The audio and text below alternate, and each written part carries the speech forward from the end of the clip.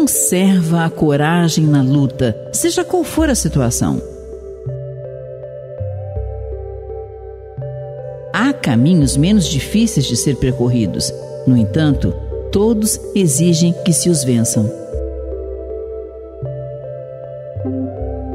Pensa-se que, pelo fato de estar se trabalhando pelo bem do próximo, não se enfrentam dificuldades e obstáculos. É puro engano. Em toda parte e posição, a criatura humana é a mesma. São Vicente de Paulo, que tanto se dedicou aos pobres, afirmava que estes eram muito exigentes e ingratos. Tem, pois, bom ânimo sempre.